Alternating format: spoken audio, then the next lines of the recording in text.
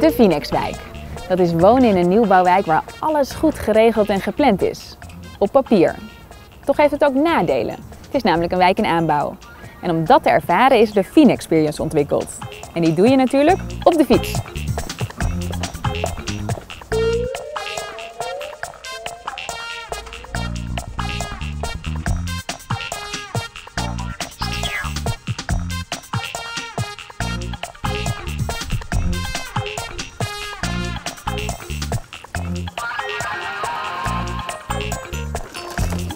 Hoi, Hoi. Marieke Dubbelman. Ja. Je bent eh, het bedenker van de Phoenix Experience. Ja, klopt. Waarom heb je dat bedacht?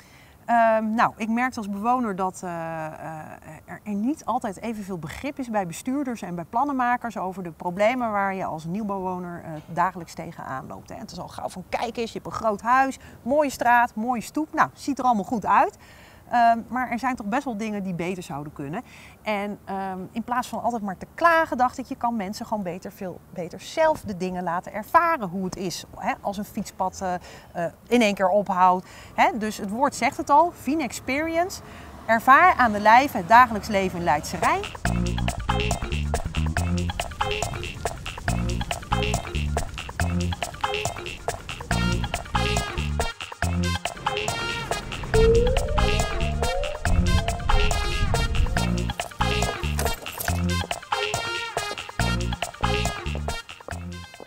Zeg maar waar je dat grasveld ziet. eh, daar moet het winkelcentrum komen. Of daar had het winkelcentrum eigenlijk al moeten staan. Want wanneer zou het er... In 2007 zou het er staan. Dat is altijd wat er in alle glossy eh, folders stond van de projectontwikkelaars. En ook eh, alle brieven van de gemeente. We hebben echt zo'n stapel brieven van de gemeente. Van, en dan en dan en dan beginnen we met het winkelcentrum. En dan kwam er altijd weer een brief van nee, het duurt toch allemaal weer langer. Wat waren de excuses? Eh, eh, eh, nou, er zit nog een, eh, een, een boerenbedrijf. De- dat moet nog onteigend worden. Nou ja, ik wandel dus al zes jaar naar die noodsupermarkt. En je woont er nu zes jaar. Ja.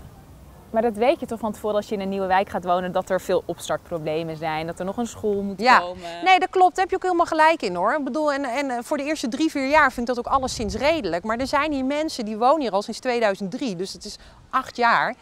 En er is gewoon nog steeds geen winkelcentrum. En dan gaan ze straks ook nog de school verplaatsen. En ja, ik ken meerdere mensen hier uit de wijk die nu een huis te koop hebben gezegd. En die zeggen gewoon, nou, ik ben er wel klaar mee.